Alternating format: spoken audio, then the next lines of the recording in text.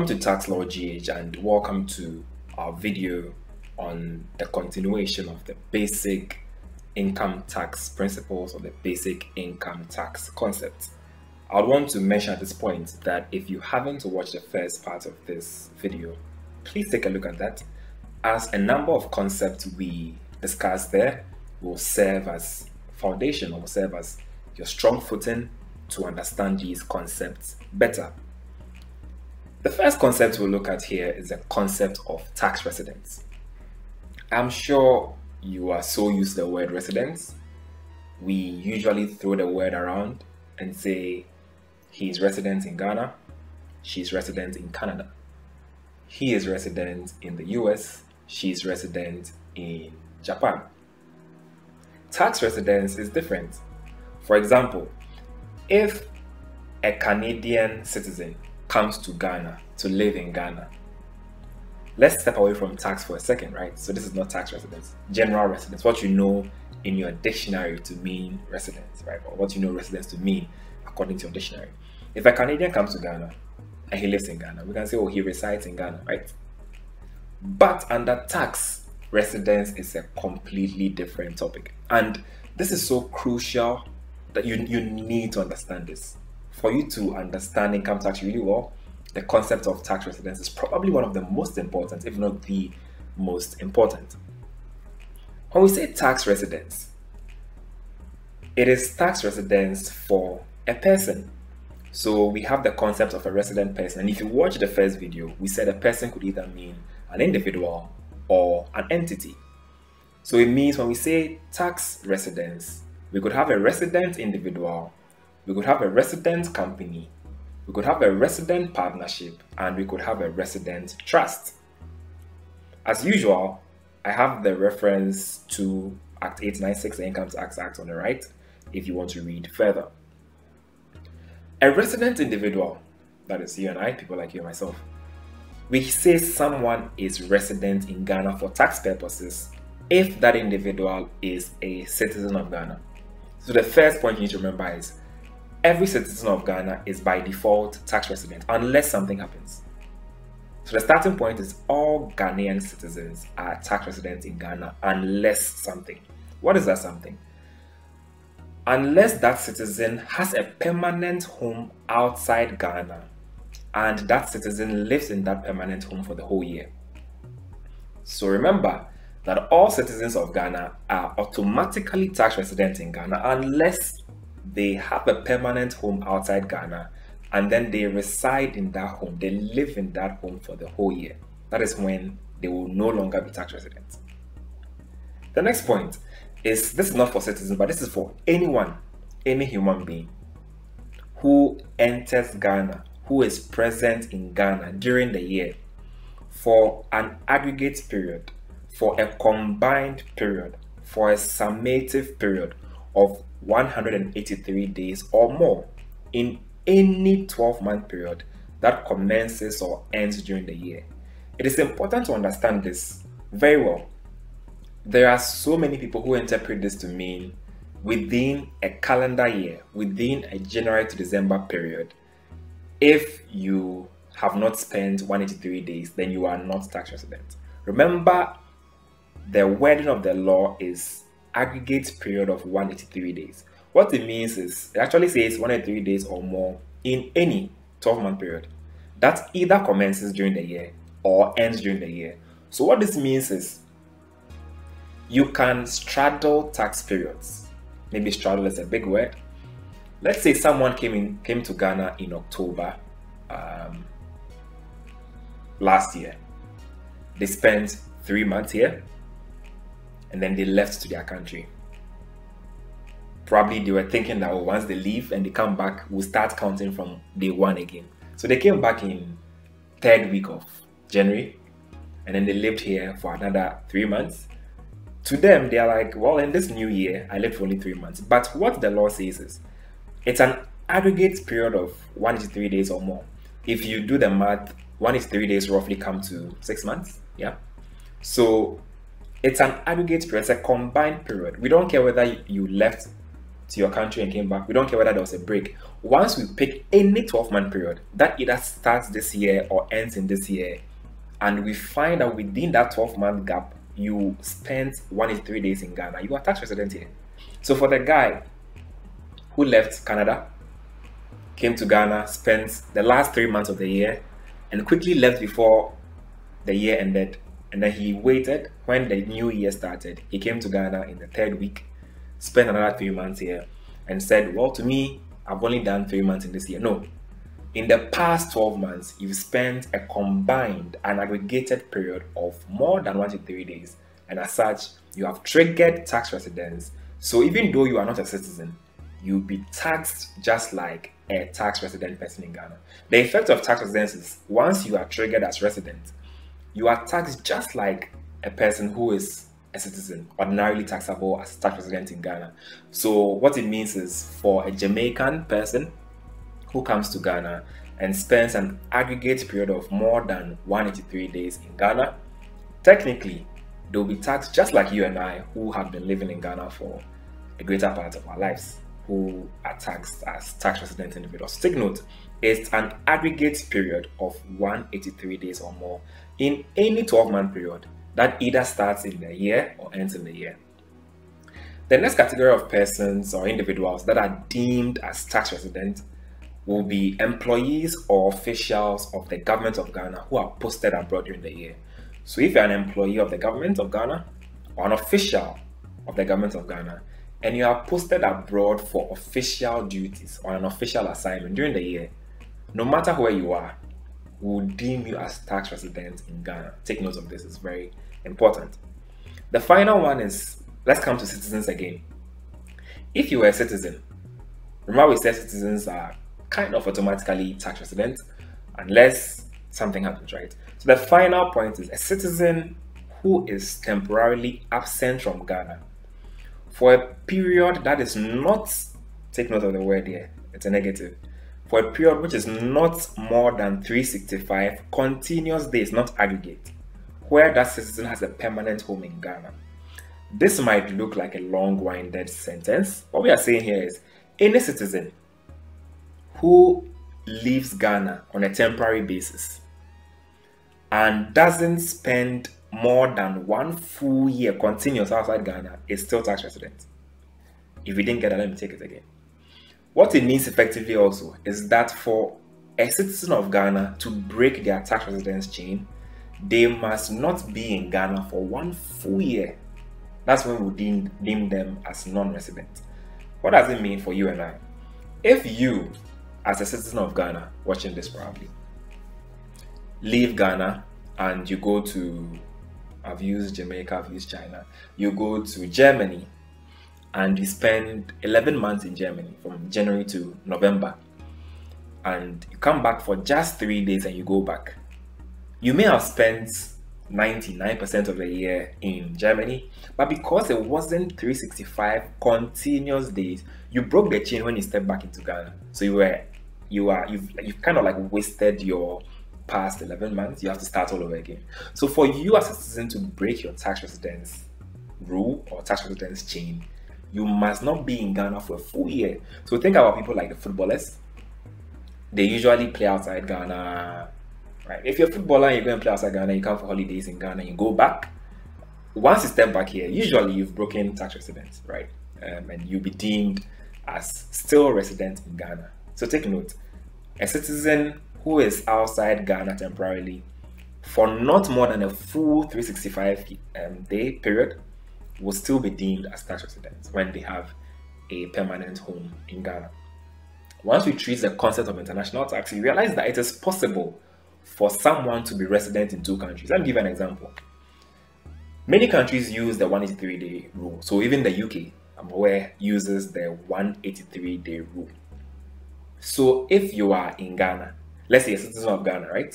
And don't forget that as a citizen, if you do not spend more than a full year outside Ghana, we still deem you resident.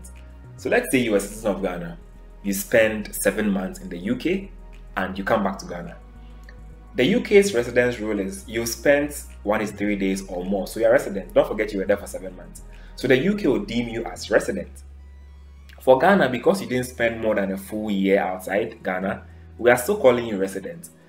Ghana will want to tax you on your worldwide income. UK will want to tax you on your worldwide income as well. What do we do?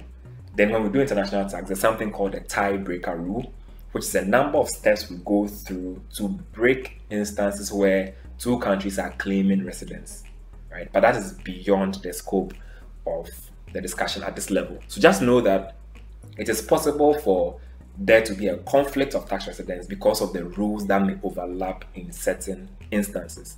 So these are the rules for what to make an individual resident in Ghana. Let's look at the rule for partnerships. Remember, a partnership in general is an association of um, two or more people who come together to do business. They share profits and they bear all losses, depend on their profit and loss sharing ratio. Now, a partnership is resident in Ghana if any partner of the partnership resided in Ghana at any time during the year. So let's say you were a partnership of 15 partners, 14 of you were living in Germany, then just one guy was in Ghana running the partnership in Ghana. Because of him, the whole partnership would be deemed to be tax resident in Ghana, regardless of the fact that majority of the partners of the partnership were outside Ghana. Take note, it's very important to remember this. For a trust, a trust is deemed to be tax resident in Ghana for a year of assessment if that trust number one is established in Ghana. So this is the first thing that catch a trust as in the net of um, being tax resident. Once that trust is established in Ghana, we will deem them to be tax residents in Ghana. Alternatively, if a trustee of the trust resided in Ghana at any time during the year, then the whole trust is tax resident in Ghana. If you ever forget this, remember this principle is similar to the principle for partnerships, right? So for partnerships, if any partner was in Ghana at any time during the year, then the whole partnership is tax resident in Ghana. For a trust, if a trustee of the trust is resident in Ghana at any time during the year, then the trust is tax resident in Ghana. Final rule for establishing tax residency for trust is if a person who is res- resident in Ghana has the power to direct or make senior managerial decisions of the trust at any time during the year, then the trust is tax resident in Ghana. And we are saying here that these decisions, we don't care how it is made. Whether he makes or the senior director in Ghana or the senior person making decisions in Ghana, whether he made this decision alone or together, jointly with other persons, we don't care whether he made it directly or through one or more one or more interposed entities, we don't care. As long as anybody in Ghana had the power to direct senior managerial decisions at any time during the year, it could be one day, it could be two days, the whole trust is deemed to be tax resident in Ghana. So remember this as well for residence trusts. The final one we'll look at is the rules for a resident company. We deem a company to be tax resident in Ghana if that company is incorporated under the Companies Act of 2019, Act 992. I'm sure you may, you may be aware that this Act 992 replaced the old Companies Act in 2019. Remember this. So you may see references in some textbooks to the old Companies Act. Remember the new Act is Act 992. So either the company is incorporated under the Companies Act of Ghana or the management and control of the affairs of that company are exercised in Ghana at any time during the year. So, once again, it's important to remember here that this final bullet for establishing tax residence for a company is similar to what we have for trust. Remember, we said for trust, where anybody has the power to make senior managerial decisions in Ghana at any time during the year, then the trust is resident. For a company, if the management and control of the affairs of the company are exercised at any time during the year in Ghana, then the company is tax resident in Ghana. Now that we know who a tax resident person is, who is a non-resident person, the law has an interesting definition. It says any other person other than the above is a non-resident. So it means if you don't meet the rules for resident individual, the rules for resident partnership, the rules for resident trust, and the rules for resident companies, then automatically you are a non-resident person. That does it for the concept of tax residence. Let's look at another important concept called assessable income. Now, if you've been following carefully, we used the term chargeable income in the previous session, part one of this series.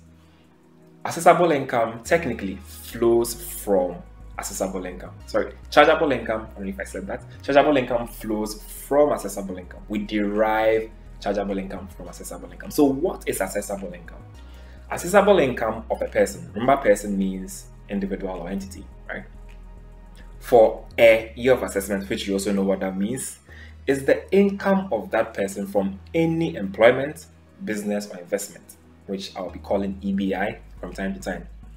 EBI is the basic level at which the Income Tax Act classifies income streams. If we are looking to tax something in Ghana, mostly we either try to place it under is it income from employment, is it income from business, is it income from investment, which is our EBI. We are saying a person's assessable income is their income from EBI for every year of assessment. So we know what assessable income is. We just learned who a resident person is. So what is the assessable income of a resident person? We are bringing all the concepts together gradually, right? So for a resident person, don't forget resident person means resident individual, resident company, resident partnership, and resident trust. What is the assessable income of these persons? The assessable income of a resident person for a year of assessment from any employment, business, or investment is the income of that person from each employment, business, or investment for the year. Most important point here whether or not the source from which the income is derived has ceased. What we are saying is once we catch you as tax residents in Ghana, once you are caught in the net of tax residents in Ghana, we don't care whether or not the source you were getting the money from has ceased. That amount is taxable in Ghana. As we progress, or I'm sure I've already mentioned that there's a concept called the worldwide system of taxation. What it means is we you do not necessarily have to bring the money into Ghana for it to be taxable in Ghana. Let's say you're a tax resident person, you have a business in Ukraine, you're making so much money there.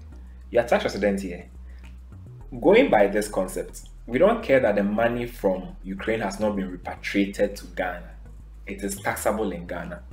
Obviously, and the practical question for those who may ask is how would GRA know that you have um, you are earning income in Ukraine?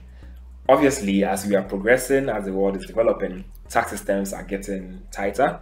Companies are entering into um, agreements called exchange of information agreements, where different countries agree to exchange relevant information about taxpayers, about relevant um, happenings in the country, so that relevant tax authorities can track some of these issues.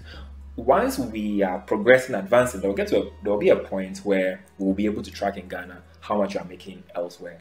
The US has done a great job at this, where they have certain rules that require some countries to mandatorily report bank accounts held by certain US citizens overseas. So if the US has done it, oh, it's just a matter of time, Ghana will follow suit. But remember that the takeaway point is assessable income of resident person is their income from any employment, business, or investment for the whole year, whether or not the source from which the income is derived has ceased.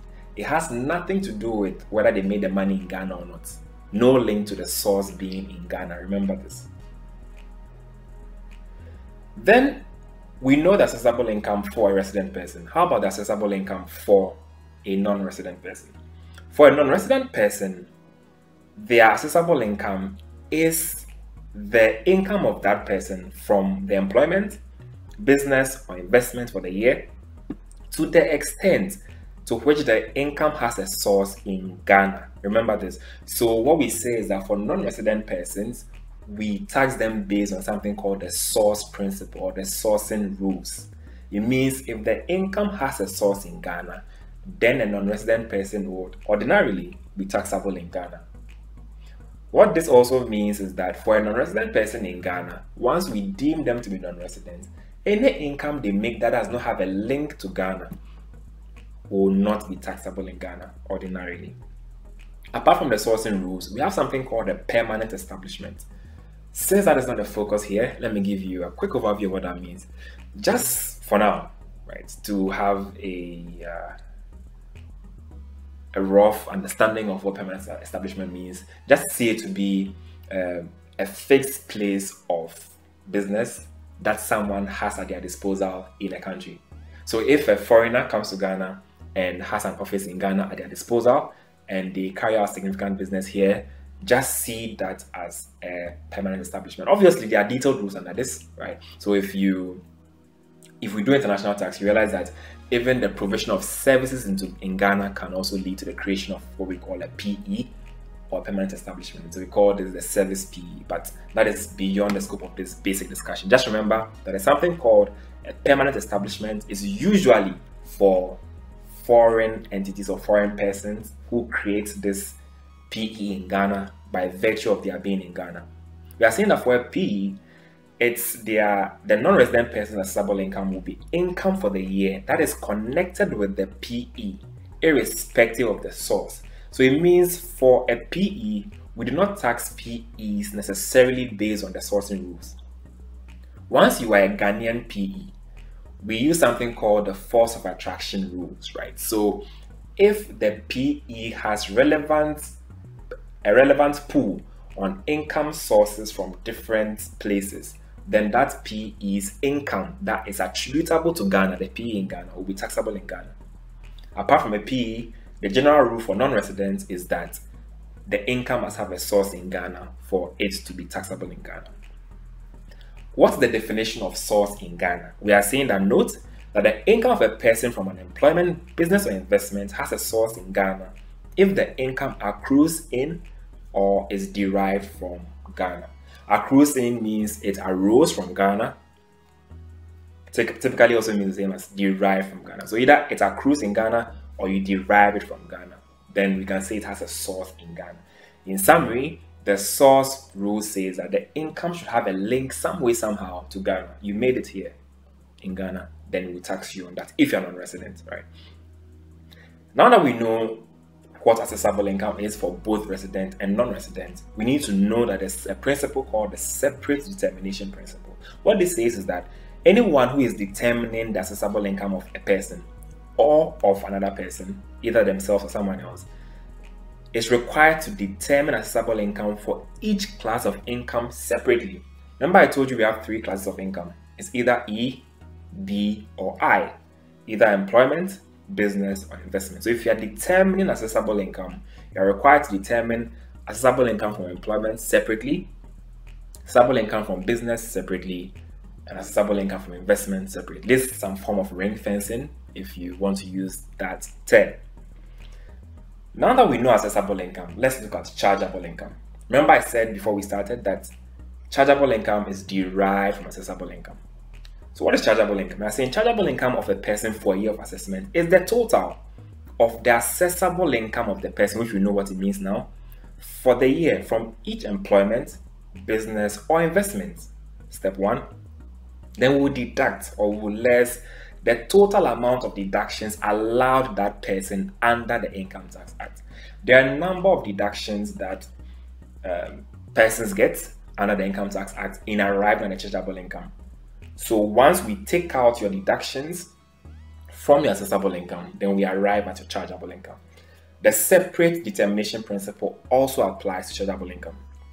We are required to determine chargeable income from employment separately, chargeable income from business separately, and then chargeable income from investment separately. Let's look at the principle of method of accounting. The general rule is, I'm sure you've heard of GAAP or generally accepted accounting principles.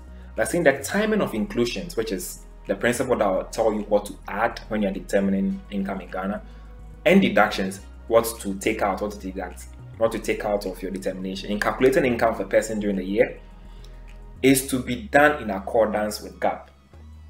The law defines GAAP to mean International Financial Reporting Standards that the Institute of Chartered Accountants Ghana has adopted for Ghana. And if my memory serves me right, um, Ghana adopted IFRS in 2007. So it means effective 2007, Ghana has been using IFRS or International Financial Reporting Standards as our um, accounting standard or our GAAP. So the Income Tax Act effectively recognizes IFRS or recognizes GAAP as the method of accounting for our taxes in Ghana or the principle that governs our accounting for taxes in Ghana. Now let's look at the specific method of accounting rules for different persons. So we are saying for an individual, when you are determining an individual's income from employment or investment, please take note we didn't mention business here. So it's an individual's employment income or the investment income.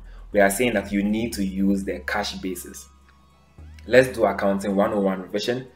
If you are using the cash base, remember we have two main accounting bases. It's either accrual basis or cash basis. Cash basis will tell you that you recognize revenues when the physical cash is received, recognize expenses when the physical cash is paid. Accrual says we don't care about cash, recognize revenues when the service has been performed or the good has been delivered, basic level. Expenses are recognized when the um, corresponding liability has been incurred or the act that will lead to the expense has been carried out at the basic level. No transfer of cash, no receipt of cash, right? So for an individual's income from employment or investment, we use the cash basis. Remember, it's very important. For a company, you must use the accrual basis. So companies use accrual basis, individuals use cash basis for employment or investment. By extension, what we can tease out of here is that individuals from business must use what accrual basis, right? Because the law is specific. Employment or investment income for individuals is, is cash basis. So by, by extension, individuals from um, their business income should be on an accrual basis, just like the companies. A person other than a company is required to account for income tax on either a cash or accrual basis, whichever most clearly reflects their income. You can see we said other than company, so it means a company is kind of stuck with accrual because to be difficult for a company to justify to the Commissioner General of GRA that another basis other than the accrual basis will most accurately reflect their income. If we are to go into accounting, I'm sure all of you have done some basic accounting. Uh, there's a standard called IAS 1 and presentation of financial statements, and then the framework of financial reporting. It has rules as to um, accrual basis accounting and cash basis accounting. If you go there, you'll see that a, a company must use accrual. It will be difficult in the current climate we have, in the current world we have, for a company to do transactions on a cash basis. Right? So what we are saying is that a person other than a company is required to account on either cash or accrual, whichever most clearly reflects the income. So if you can justify as an individual that an accrual basis will most clearly um, reflect your income from investments, then you can go for that. But company is kind of stuck with an accrual basis accounting method. However, where the Commissioner General is satisfied that a particular method of accounting reflects your income, he may, by written notice, require you to use a particular method. So he can write to you and say, I'm instructing you to use cash basis or accrual basis, whichever. Or he can approve your application to change your method of accounting. It means either he can write to you to direct you to use a particular method, or you can write to him to ask for permission to use a particular method. That's when you've sat down to analyze and realize that, well, method A over method B will most clearly reflect my income. What would be the effect of a change in your method of accounting? If you change from, let's say, accrual to cash or cash to accrual, what would be the impact on your tax compliance? We are saying that where the method of accounting of a person changes, you are required to make an adjustment in the basis period that follows the change to ensure that no item is omitted or taken into account more than once. It means if you have a change in accounting method, you are required to do something we call, if you are doing accounting, would have said you do a prospective application. It should be in the subsequent periods, right? Not the preceding periods. We've come this far as usual. Let's do some concept checkers. Let's see how much you have learned. Question one Brock Lesnar, or before we read the question, it's good to always um, look at the requirements so you know what the examiner wants from you. So required, we are saying is Brock right or wrong? explain your answer. So question one says, Brock Lesnar is a citizen of Ghana. He left Ghana on 1st February 2020 and spent 190 days in China before returning to Ghana. When he got back to Ghana, the GRA issued an assessment to Brock on his income earned whilst in China because according to the GRA, Brock was tax resident during that period. Brock claims he was non-resident during that 190 day period.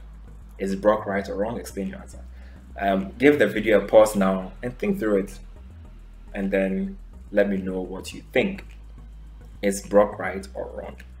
Okay, the answer is Brock is clearly wrong.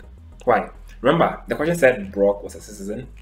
He left Ghana on 1st February and spent 190 days and he came back to Ghana.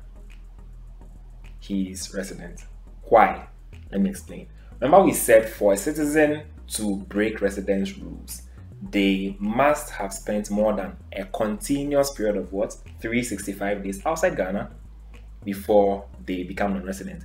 Brock just spent 190 days and came back. So even though he exceeded 183 days, we don't use 183 days for citizens. We use 365 days continuous. Remember this one. So Brock is wrong. Brock was still resident because he did not spend more than 365 days outside Ghana. So the GRA is right and Brock is wrong. Question two the income of an individual from a very high paying job is required to be accounted for using which method of accounting? A. Cash basis, B. Accrual basis, C. Modified cash basis. You can pause the video and let me know your answer in the comments if you want to. Ready? Okay, the answer is A. Remember, we said an individual's assessable income from employment and investment must be accounted for on a cash basis. So the answer is A, cash basis. I put the word very high paying job there to see if you probably think because it's high paying, probably um, modified cash. Right, but for those who got it right, um, the trick didn't work on you. So it's cash basis. Final concept checker. Oh, two actually. Where the method of accounting of a person changes, an adjustment shall be made in the basis period dash the change? Is it the basis period before the change? Is a basis period after the change? Is a basis period during the change? Obviously, the answer is you wanna guess? Pause, take a guess. After. Remember, I even mentioned, I think that was the last thing we did before we came here, right? So, where your method changes, you are supposed to adjust in the basis period that follows the change. So, it's after, it's B after the change. You make the change so that you don't omit anything or you don't account for anything more than once. Final question, quite long. Take a read. We are saying required. Is the GRA right or wrong? Explain your answer. So 13 Pro Max Ghana Company Limited is a company in Ghana with its parent company in the USA. The parent company reports using the prescribed accounting standards for the US, which is the US GAAP. 13 Pro Max Ghana in keeping with the reporting requirements of its US parent, prepares its Ghana account using US GAAP. Due to the difference in the inventory valuation method between US GAAP and IFRS, the GRA has raised a tax audit issue in respect of 13 Pro Max Ghana. 13 Pro Max Ghana is objecting to this assessment and is denying any wrongdoing. Is the GRA right or wrong? Explain your answer. This is quite long, so you can pause here and think through it and see if what you have is what I will tell you it is. You can also type your answer in the comments section below. So yes, the GRA is right. The GRA is right for raising an issue because remember I said the GAAP or the general accepted accounting principles for Ghana is IFRS and not US GAAP. So if a company is using US GAAP in Ghana, and because of the difference in accounting standard treatment between a certain US GAAP and our IFRS, if there's a difference, the GRA reserves every right to raise an assessment, raise an issue, because the company was supposed to even use IFRS in the first place. So that brings us to the end. Very important, let's take the summary. The summary um, is very, very important. Let's see what we've learned in this session so far. We are saying a person could mean either an individual or an entity. So this is a session summary for the whole um, part one and part two. A person could mean either an individual or an entity. Remember this. the year of assessment is the same for every person. That's a calendar year, January to December. However, the basis periods for persons vary depending on the particular person. Also, we are saying at the very basic level, income tax is payable for each year of assessment by a person who has chargeable income for the year and a person who receives a final withholding payment during the year. We also learned that there are different tax residence rules for individuals, companies, partnerships, trusts. We also learned that the assessable income of a person for each year of assessment is the income of that person from any EBI. We also learned that chargeable income of a person is the total assessable income of that person less the total amount of deductions allowed that person. Then we also learned that an individual, for income tax purposes, for either employment income or investment income, is required to account on a cash basis. Then a company is required to account on an accrual basis. So I hope this was helpful. If it was, hit the like button, leave a comment in the comments box below, and don't forget to share this video within your network. I'll catch you in the next session.